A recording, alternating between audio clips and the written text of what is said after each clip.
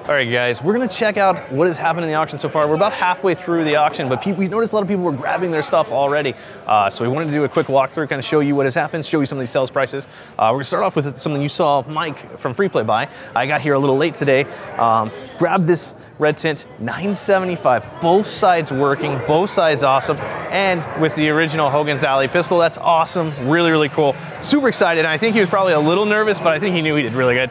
This is funny, because this, I don't know if you've ever seen a walkthrough, this actually came out of our warehouse through some weird series of events. DJ Terminator Mike B stuck us with this. Uh, it, it wasn't a direct deal or anything. He put two TVs, he was trying to build his own cocktail versus cab. Um, it sold for $100 not to us. So we're pumped. We're, we're, I mean, I hope whoever bought it loves it, but it was not something we ever wanted, and we're happy to see it go. Um, we got one of these 20th, uh, 20 year reunion cabs with Galaga Ms. Pac. Had an LCD. I wouldn't be surprised if uh, it had a 16 1. Sold for 700, which is a decent deal if it's a real game, but if it's a 16 1, eh, a little, little more shaky. Uh, now we got this hilarious $900 uh, Street Fighter 2 New Challenger. Um, this is probably like a barcade type purchase, I guess. I don't know. Um, not a good purchase for sure.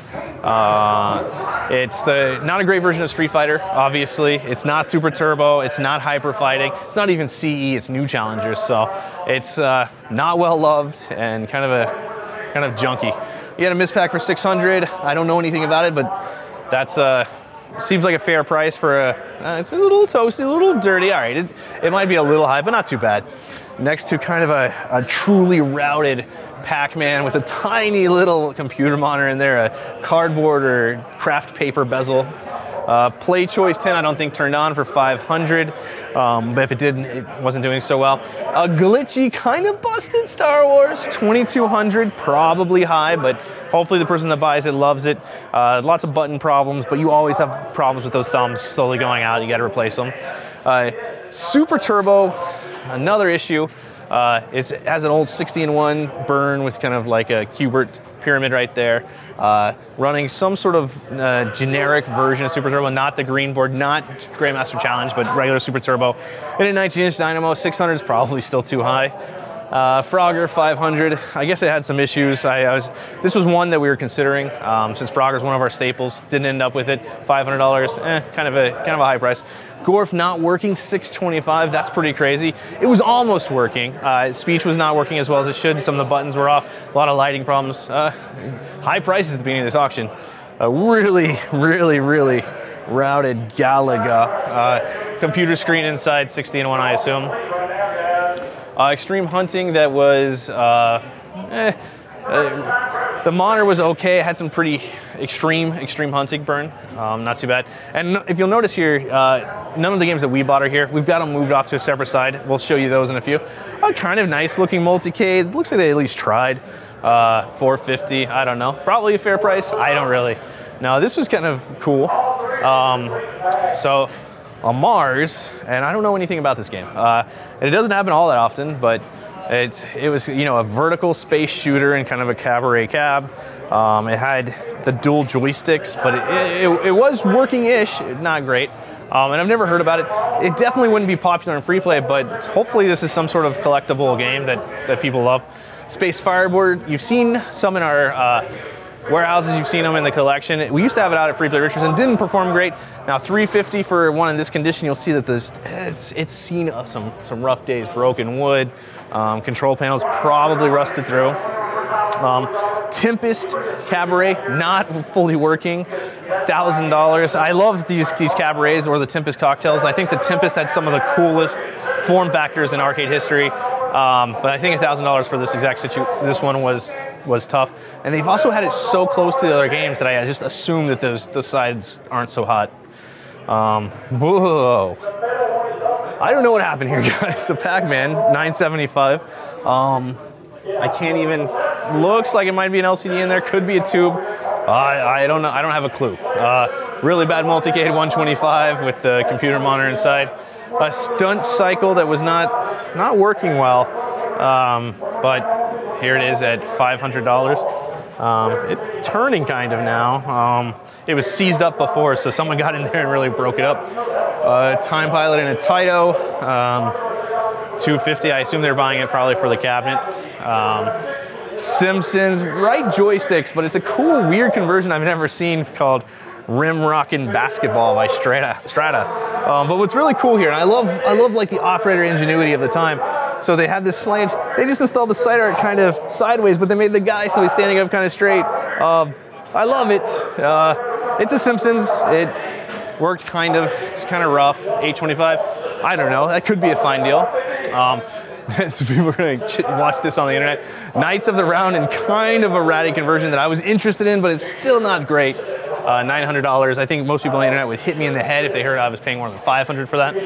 Um, Marvel Superheroes, that was, it was fine, but this is uh, a midweight cab.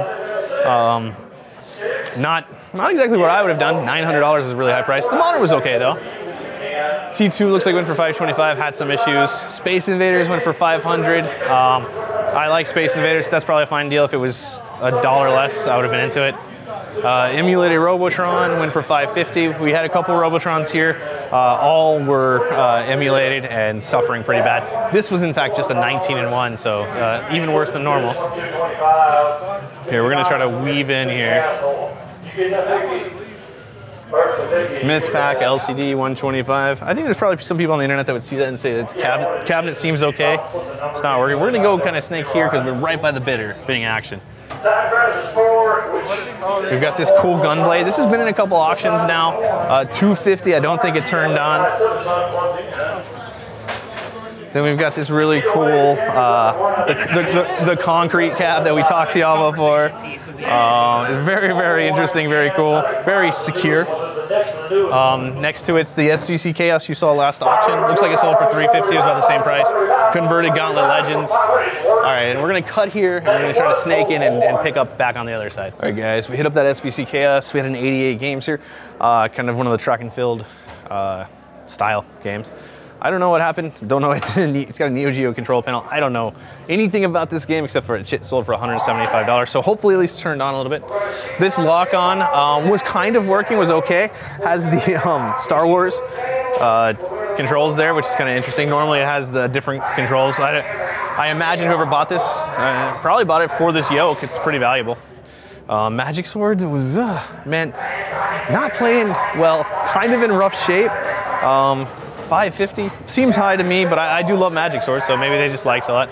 Broken Space Gun for 100 bucks. Uh, you can see the plastic's all kind of damaged. It happens, but if you ever see the one that we have out, I think it's at Free Play Denton right now, minty, really cool. This was probably a fine deal. A decent Neo Geo 4 slot. It seemed to be in good shape wood-wise, 675. The four games that don't really matter, um, but still kind of cool. Uh, Area 51 Site 4 that was running a combo with just Area 51 and Max Force 650. I don't know, seems a little high, but not too bad. Uh, I did bid on that one. I really would have liked to pay about 500 for it. Uh, emulated, didn't turn on computer monitor. They still got 50 bucks, so uh, go them. This was not whatever Cosmic Gangs is. A different Vroom game, I don't know, 150. I hope they're happy with that. One of the smallest computer monitors I've ever seen in one of these. Uh, Neo Geo one slot style cabinet with really, I mean, conversion, bad button placement, $50. Uh, it's some, some trash. Now this is what's kind of funny though.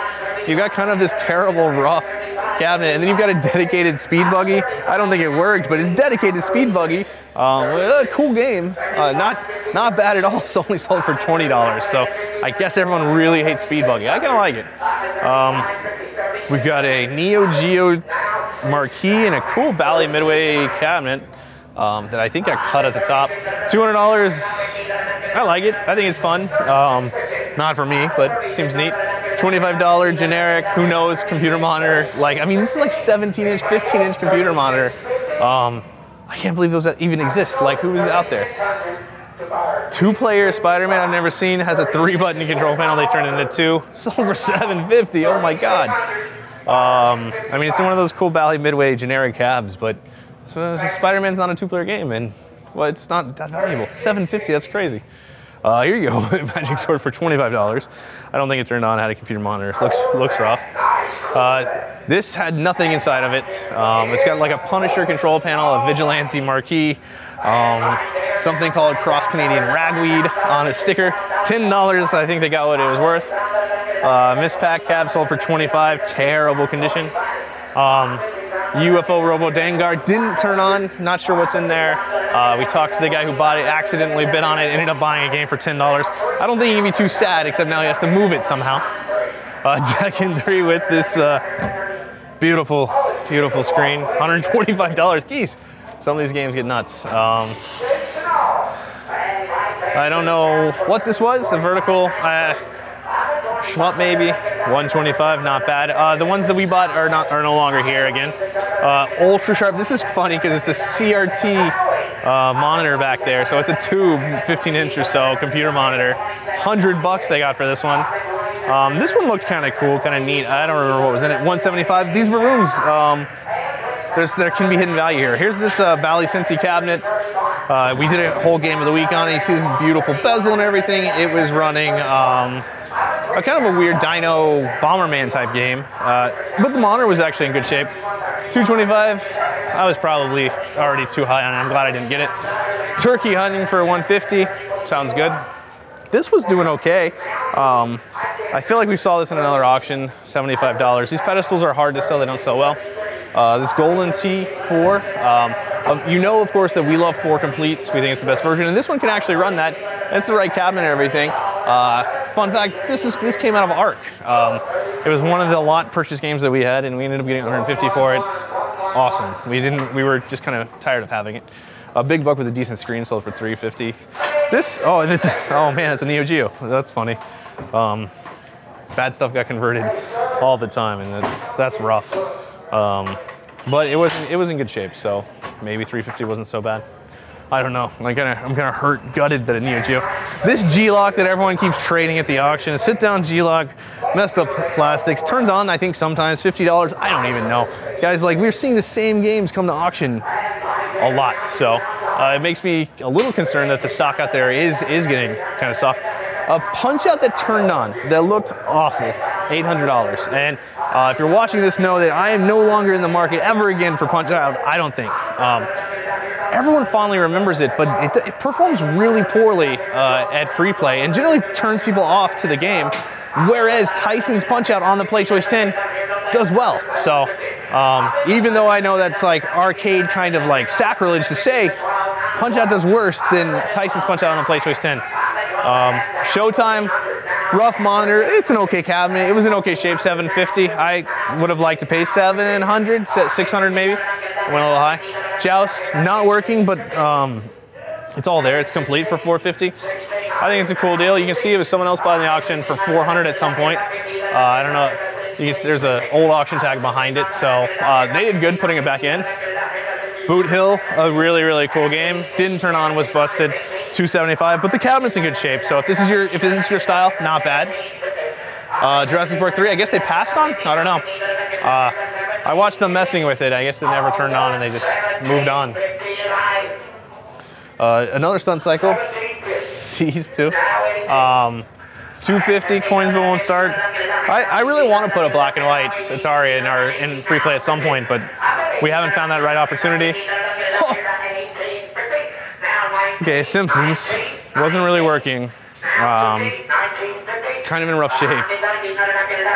Uh, 950 didn't turn on. Um, really shocking sales price. Um, too much, uh, which I love Simpsons, but that should have been like $500 given this condition. It, it, it's not anywhere near floor ready, home ready, garage ready.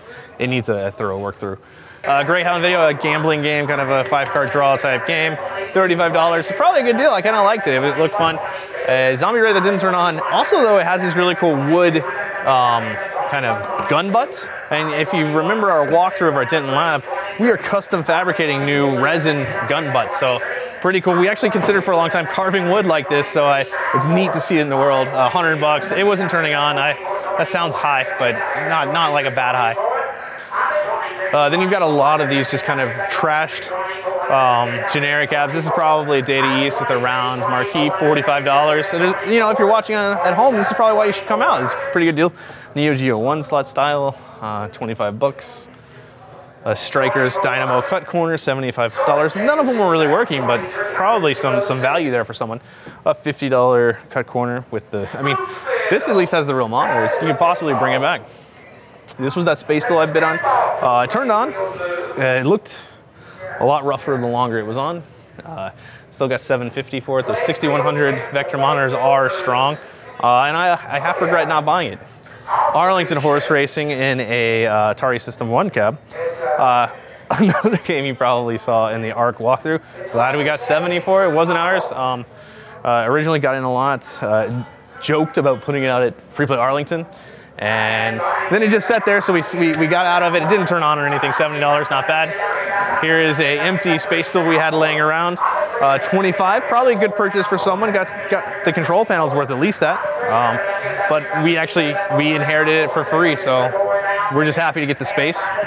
And of course the wood and stuff is, is pretty gone. So that control panel was probably the, the only value left on it. Of a Vroom, something, $75 might maybe it turned on. And we're just gonna kind of go through these. Vroom, cut corner, cut corner, $25, $10, $10 data east round. Uh, one of these Atari I've never seen this control panel overlay, but some sweet $100 bills right there. Um, $60, so maybe they upgraded for this control panel. More dynamos, 50 bucks, 50 bucks. None of them are really turning on, and a lot of them had uh, concrete inside of them, so uh, no one was super happy about it. A rough Neo Geo 4 slot conversion, um, $25 rough kind of pack conversion, $10. Oh, look though, you can see the Galaga marquee underneath. Um, so that's that's interesting. It looks like it got painted over. Rough Tekken 3 that used to be some sort of baseball game. Got $10 for it. I mean, guys, there's some value here. These, of course, we talked about filled with concrete, so they're not going to be very easy to move around. Uh, kind of uh, redemption spinner. 50 bucks? Okay. Tekken and what is this? Um, like the, uh, I know this, like the football, yeah, the rugby game. I can't remember what it's called, but Tekken 100 bucks, probably a good deal. Pack Plus. Wow. Um, 225, maybe it turned on or something, because that is, that is a lot. If you look over here, it's covered in dust. Um, it's a pack cab. You're gonna have to put the control panel back on. It is in rough shape, but 225, wow. Impressive. And then Strikers, another Vroom. And we got the Karnov control panel overlay, Strikers 1945, LCD. Lots of um, projects if you're in the, in the market for it. This PlayChoice-10 that um, looks like it has a real board in it, went for 300, but that's about all you're getting out of it. Uh, really, really rough shape on a lot of this stuff. The Super System with the LCD and the, the JAMMA this is not a Super System port, it's an actual JAMMA Super Nintendo. Um, but for 400, you might be able to get the value out of it. Um, it was playing, uh, I think, the uh, Mario All-Stars cart, so they had each Mario game, uh, which was one of the things that Vroom did a lot, so I assume this came out of Vroom. Lethal Enforcers for 150. Um, cool.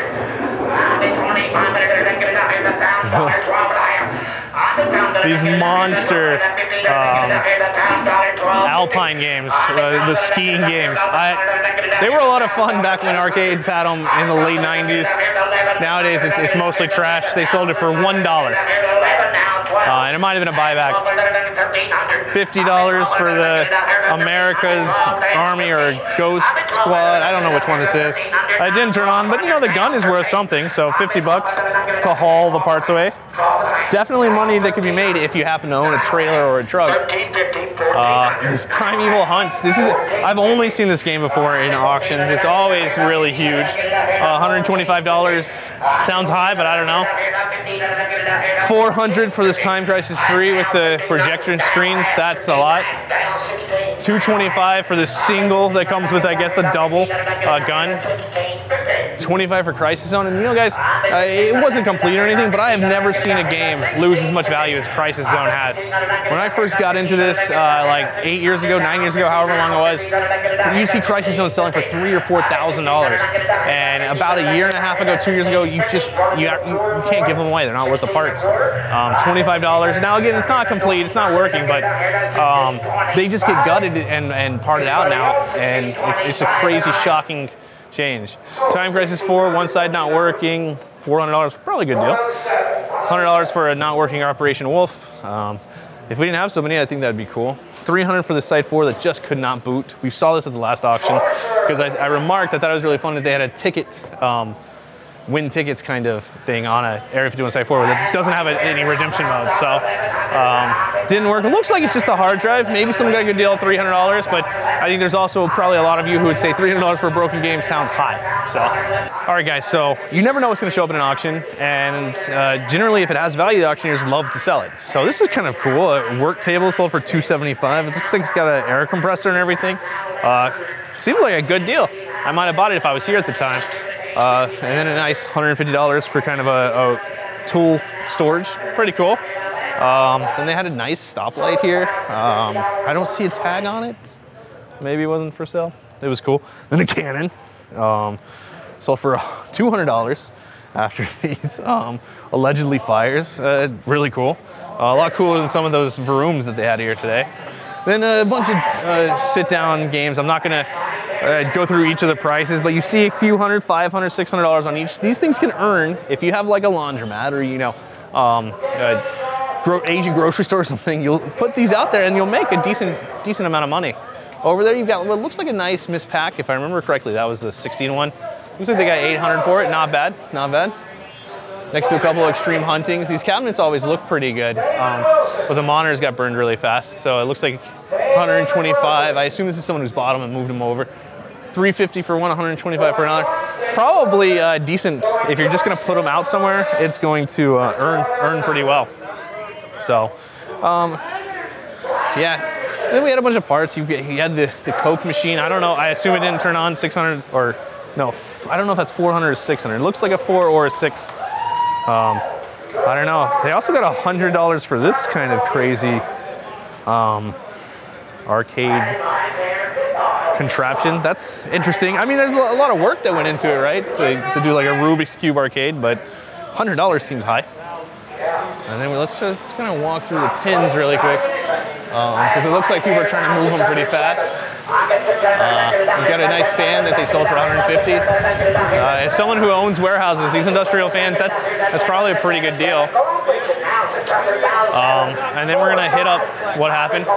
We had Funhouse sell for 36.50. Um, that's, that's not a bad deal, not a great deal. This one was in okay shape. Uh, it needs a little bit of work, but uh, if we didn't already have a fun house, I would have been looking at. Uh, whoa, 3,200 for the Corvette. That's pretty high, guys. I don't want to insult this guy. You don't have any, you don't have any holes drilled in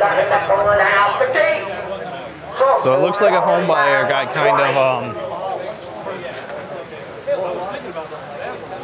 excited uh, and, and, kind of fell into a trap of one of the resellers. Not that either side should really regret the situation, but it's clear they came to try to buy that game probably. That was probably what they wanted.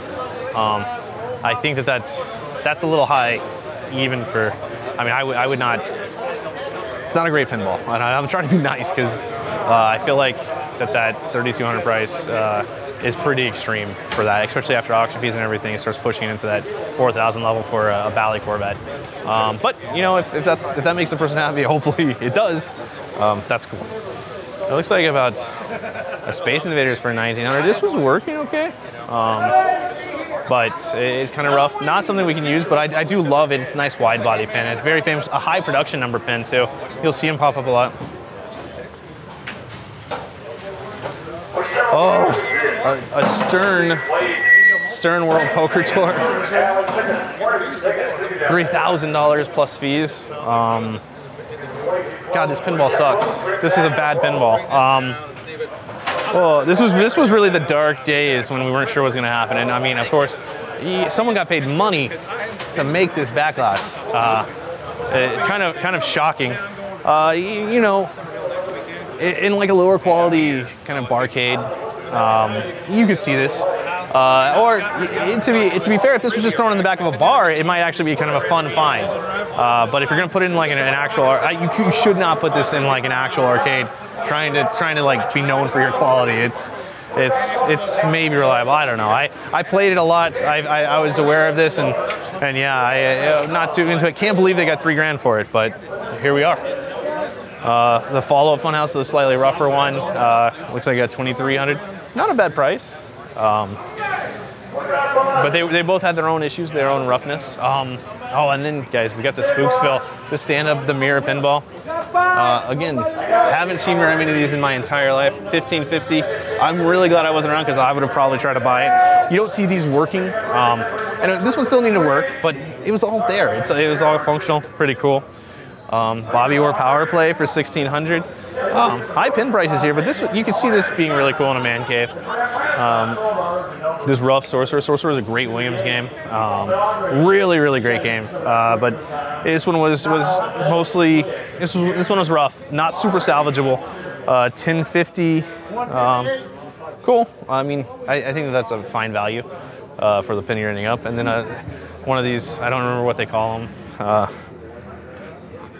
I guess it's not the wedge, not one. No, it's not a wedge head, but a little small um, discount Williams game, $400. If it worked, it was good. I didn't get the chance to play it. Um, pit stop, but they made like hundreds of these pinballs that were themed, all kind of similar with that kind of deco style art. Um, and I think they're all fun. I wish I had like a really mint version of one in my house. Um, I don't think I could, but and they're not really loved by pinball people, but I think that they're really, really kind of like a neat experience.